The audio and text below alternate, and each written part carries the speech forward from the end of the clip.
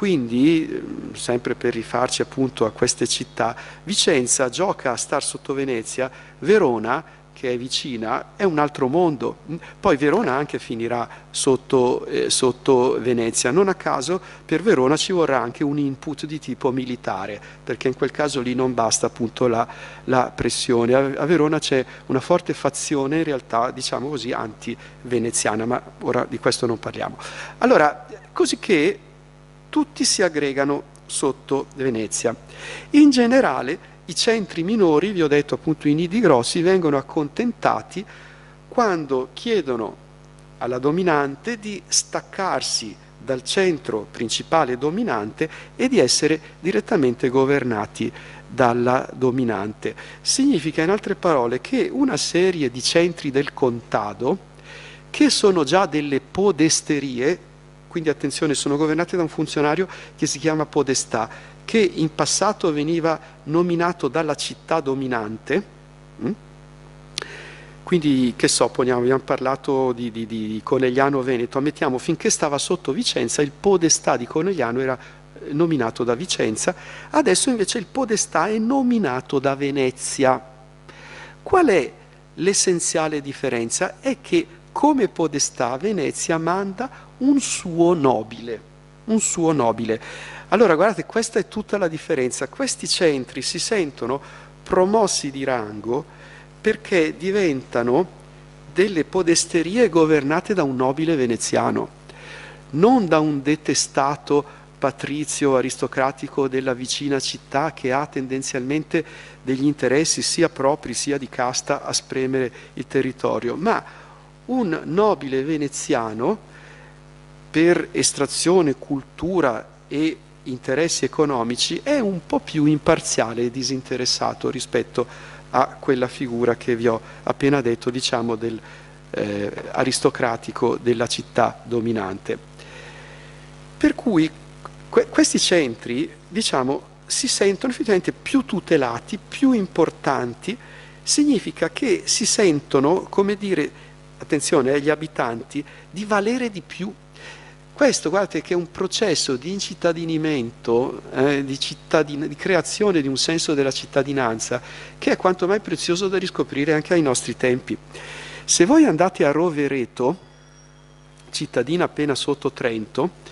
e voi dite, eh, ma voi che passato avete avuto? Loro vi dicono, noi siamo stati sotto Venezia. No? Allora, quando voi andate poi a vedere le storie, scoprite che questi qui sotto Venezia ci sono stati ma per neanche un secolo. E poi il resto del tempo sono stati sotto tutta una serie di altri dominatori, tra cui anche i, i conti eh, di Castelbarco, di cui a Rovereto oggigiorno non interessa più niente a nessuno, salvo che il castello fuori Rovereto è dei conti di Castelbarco che erano i dominatori feudali, quindi Rovereto era proprio inizialmente una signoria di questi signori appunto rurali che oggigiorno nella memoria locale non contano più niente. Poi loro sono stati sotto gli Asburgo, ma non te lo diranno mai, eh, e, e, via discorrendo. Cioè cosa vuol dire? Vuol dire che l'esperienza che equivale a un settantennio, non so quanto, anzi anche meno, di governo veneziano ha inciso nella memoria storica locale molto più dei secoli di dominio di altri. Sapete perché? Perché si sono sentiti importanti sotto Venezia per tutta una serie di motivi che poi gli amici roveretani mi hanno spiegato, perché effettivamente Venezia ha incrementato, tra l'altro, e sentite qui, questa è veramente public history, ha incrementato nella coscienza locale il sentimento di essere degli imprenditori, di essere dei mercanti. Cioè i roveretani dicono, noi siamo un po' mercanti, sapete quello stile veneziano del mercante, ma come voi siete trentino, cioè come fate a dire, cioè quelli sono sulla laguna, queste... no, no, ma noi qua così, poi sull'Adice, effettivamente è vero, l'Adice era navigabile, eccetera, e quindi c'era un flusso di merci, insomma noi qui siamo mercanti, imprenditori, attenzione, mica come quelli di Trento, perché quelli di Trento nella percezione dei roveretani sono degli addormentati, attenzione a questo, cioè sono diciamo più inerti di fronte alle possibilità anche di incremento economico che, che, è tipico dello spirito mercantile. Allora vedete, questa è una mitizzazione del passato, ma ben venga, eh, io non vi sto lungi da me l'idea di mettere queste cose in caricatura, anzi, anzi questo ripeto è il bello eh, dell'Italia, Cioè la costruzione dell'identità locale passa attraverso queste, queste, realtà. Vi racconto tutto questo perché quando è uscito questo mio volumetto su Venezia Terraferma, uno dei primi che lo ha comprato è stato un signore di Rovereto che poi mi ha cercato per dirmi che era molto contento di aver trovato un libro sulla terraferma veneziana perché noi siamo sudditi di Venezia. Allora io poi sono andato a Rovereto, l'ho conosciuto, siamo diventati amici, mi ha portato a vedere tutta Rovereto e dintorni, quindi ne ho tratto un grandissimo beneficio e così ne ho approfittato per farmi dire che cos'è la percezione dell'essere roveretani oggigiorno. Bene, significa essere dipendenti da questo passato veneziano che però è durato neanche un secolo le altre dominazioni rispetto a questa non sono minimamente considerate. Vorrà pure dire qualcosa. Allora vuol dire questo, cioè vuol dire avere fatto sentire questa realtà più protagonistica, vuol dire anche, e guardate che non è secondario, avere inciso sul piano urbanistico, cioè ci sono stati una serie di interventi edilizi che hanno strutturato il centro storico, attenzione a questo, della vecchia Rovereto medievale, che oggi noi dobbiamo ricostruire con uno sforzo di immaginazione, era una borgata eh, feudale. Sapete cosa vuol dire, ad esempio? Vuol dire che difficilmente in questo tipo di agglomerati c'è un centro storico degno, eh, un centro di aggregazione civica. Invece Venezia, che per far questo butta anche giù edifici, apre gli spazi e crea delle piazze. Poi immancabilmente in mezzo alla piazza ci sarà la colonna con su il leone di San Marco, quindi ci sono sempre i simboli del potere, quindi attenzione, non sono operazioni fatte diciamo, per puro abbellimento eh, urbano, chiaro, cioè sono piazze che devono servire tra l'altro ad aggregare, come si faceva, l'assemblea dei capi famiglia che venivano ad esempio interpellati in occasione so, delle emissioni di alcuni so, di notizie, di bandi, di, di, di, di, regole, leggi, quant'altro o motivi anche giudiziari, quello che era. Insomma, quindi sono luoghi appunto di esercizio eh, dell'autorità, ma hanno sempre una ricaduta di tipo monumentale perché in effetti Venezia è attenta alla dimensione estetica.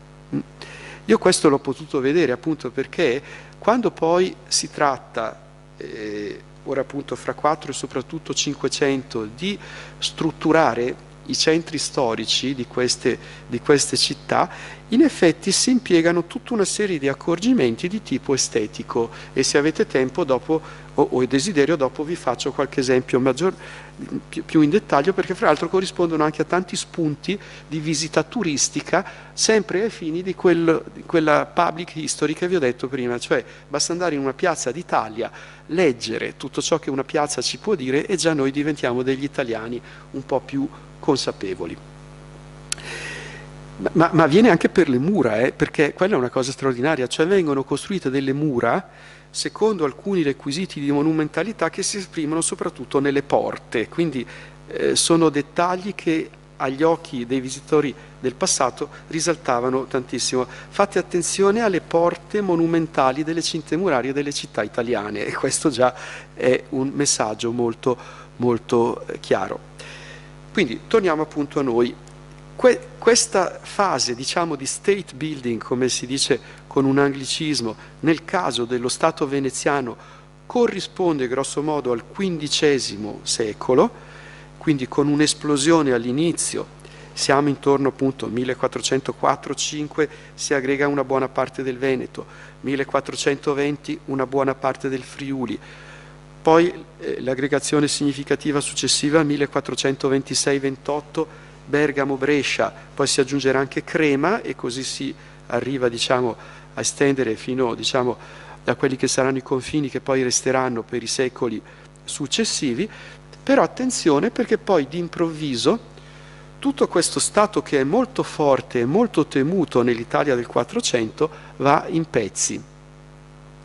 nonostante nell'Italia del 400 Venezia faccia paura e venga considerata una potenza espansionista probabilmente la più, la più temibile dagli altri stati vicini. Dicevano addirittura che Venezia volesse arrogarsi la monarchia d'Italia. Monarchia d'Italia, un sintagma molto interessante che dice molto anche della storia d'Italia. Venezia ambisce alla monarchia d'Italia. Cosa vuol dire monarchia d'Italia, non quello che noi pensiamo. Cioè Venezia non puntava né poteva a conquistare tut- o ad aggregare tutta l'Italia, però è vero che se fosse stata libera di fare a suo modo, sarebbe diventata la potenza arbitro degli affari italiani. Ecco cosa voleva dire monarchia nel gergo politico dell'Italia del Rinascimento, cioè potere egemonico di influenza sugli altri. E siccome c'erano altri stati che ambivano a questo e poi soprattutto c'era il papato che non poteva sopportare che uno Stato che non fosse il papato esercitasse l'egemonia in Italia, ovviamente tutto questo finì a, eh, eh, lavorò appunto eh, per la rovina di Venezia che arrivò in un anno particolare. Ed è un anno anche questo veramente importantissimo, decisivo per, le, per la storia direi anche in questo caso generale d'Italia che è l'anno 1509, battaglia di Agnadello, un, un rovescio militare molto considerevole però attenzione non veramente è eh, l'annichilamento eh, del potenziale militare veneziano, una severa disfatta militare, ma non la cancellazione, eh, non la polverizzazione eh, di Venezia come macchina militare. Quindi un severo rovescio militare, però a causa di questo a catena ribellioni delle principali città del dominio di terraferma che portano a un disfacimento subitaneo dello Stato veneziano, cioè le città si rivoltano contro Venezia,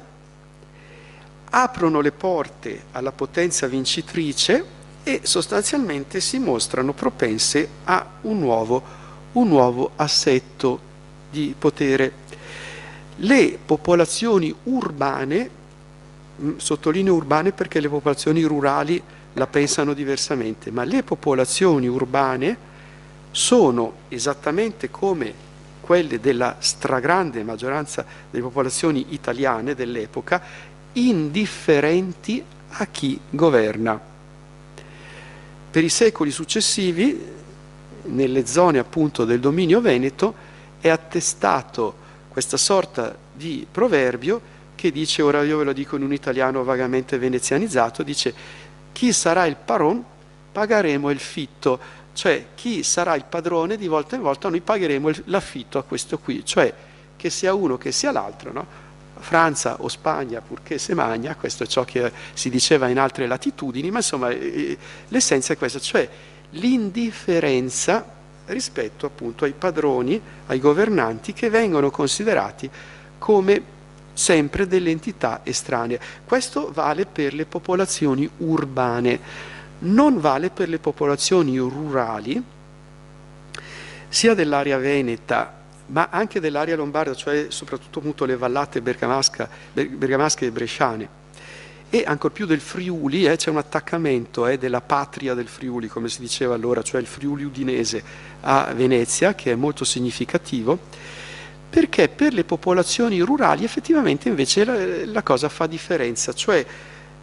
non è proprio indifferente stare sotto questo o quello, cioè sotto Venezia si sta meglio ed è preferibile stare, è quello che eh, attestano queste popolazioni che sono pronte addirittura a imbracciare le armi, a fare la guerra, quindi a dire, mettere a disposizione eh, dire, le loro stesse vite eh, per in qualche modo eh, mantenere in piedi l'assetto statuale veneziano. Sono tutti episodi appunto già noti, che vedo anche voi conoscete già, e che sono appunto materia di riflessione. Perché appunto c'è questo dualismo città-territorio che poi appunto risalta in questa situazione di crisi? Ma semplice perché Venezia nei decenni precedenti ha cercato di mantenere una linea di equidistanza fra la città e la campagna, la campagna, quindi non ha veramente favorito più di tanto i contadini, ma non li ha neanche veramente danneggiati, non ha consentito quindi quei soprusi così smaccati da parte del mondo cittadino verso appunto il mondo rurale, di conseguenza ha scontentato le oligarchie e i ceti dirigenti urbani se li è alienati in qualche modo per, o perlomeno non ha favorito, come dire, l'instaurazione di un vero legame di fedeltà, nonostante, vi posso dire, credetemi, sulla base appunto della conoscenza diretta, in realtà Venezia abbia sempre privilegiato il mondo urbano e i ceti dirigenti. Venezia è una potenza conservatrice e non rivoluzionaria, però è vero che ha questo approccio, diciamo così, ehm, tendenzialmente imparziale, anche perché c'è un'esigenza di tipo economico, cioè è meglio tutelare le popolazioni della campagna, campagna anche per motivi fiscali, cioè è meglio che queste popolazioni stiano bene e siano redditizie dal punto di vista anche fiscale, piuttosto che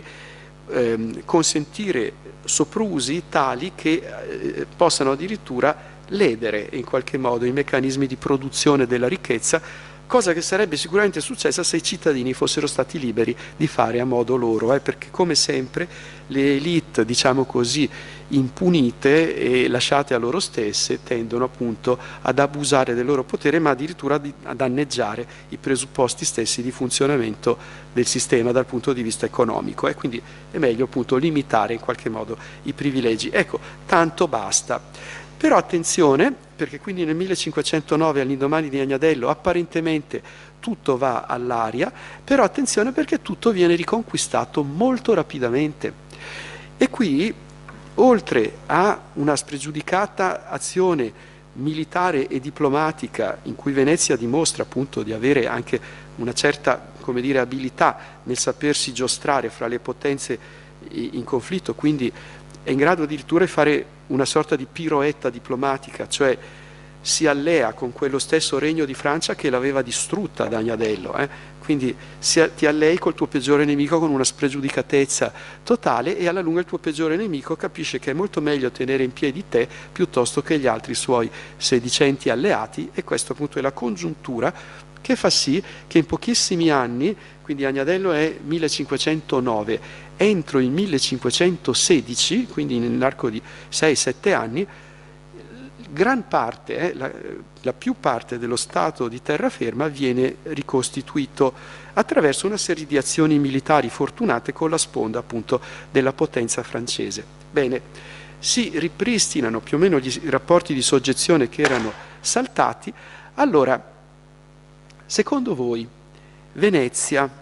cosa farà nei confronti dei ceti urbani, ceti dirigenti urbani che si sono dimostrati così infedeli e così infidi? Secondo voi li castigherà o li perdonerà?